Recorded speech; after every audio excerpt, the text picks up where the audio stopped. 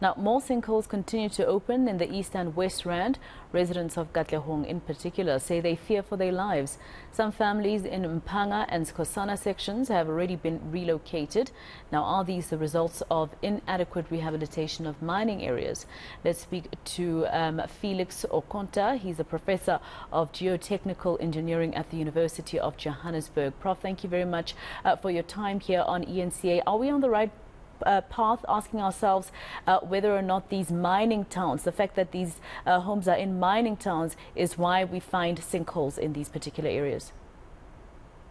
Yes, thank you. Thank you very much, and uh, thank you to the viewers. Yes, the, the fact that you have sinkholes, especially in some of those places in the West Rand and the East Rand, uh, places that have got very high intensity of mining activity, um, often often lead to sinkholes. And the, the, the, reason is because of the fact that large amount of water, large amount of water is abstracted from the ground. Um, the mining activities, whether it is open pit mine or shaft, normally allow large amount of water to be moved. And therefore the water table, you, you, when you abstract large amount of water, you change the water table. And when you change the water table, it is one of those things that can trigger the formation of sinkholes. But it's not the only thing that tr tr triggers it. The, the other aspect that is unique to East Rand and West Rand has got to do with the fact that the area is dominated by dolomites.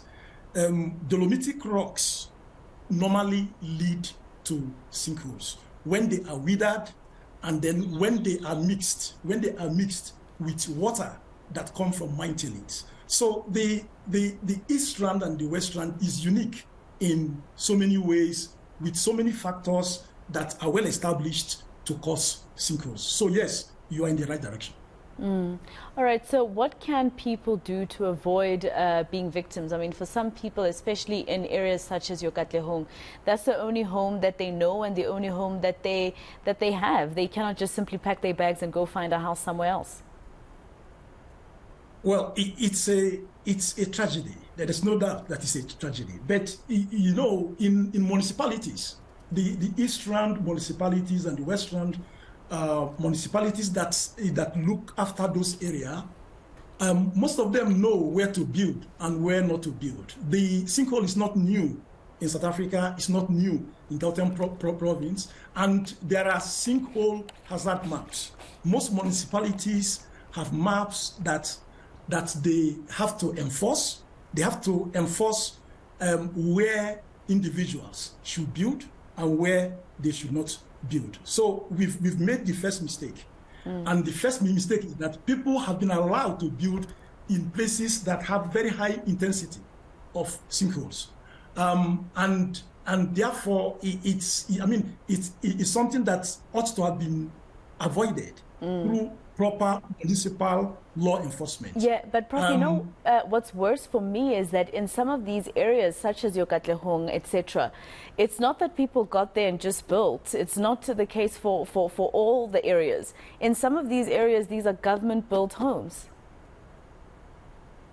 Yes, I, I think that um, the, the, the, the fact that, um, that, you know, that a road has to, for example, pass that you construct a road through a particular place or that the government built low-cost housing um, in a place, you would then have expected that all the necessary tests mm. um, would have been done, that they would have done all the necessary tests. Because be before you build a house, the minimum, the actual minimum, is to do extensive um, geotechnical investigation, site investigation um, that ought to have been done. And therefore, you don't have to build a house in a place that, in the first place, you are not supposed to build a house. It does not matter, I mean, I mean whether it is a private house or whether it is built um, by, by government, the standard apply that you, you have to do standard site investigation. Mm. And it, it's, it's not done by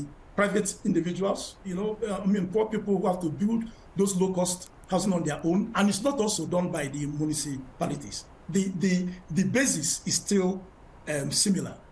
by the time you have to build a house, you have to do a thorough site investigation to avoid you building in, building a house in a place where you, you wake up tomorrow and there's no house. Mm, mm.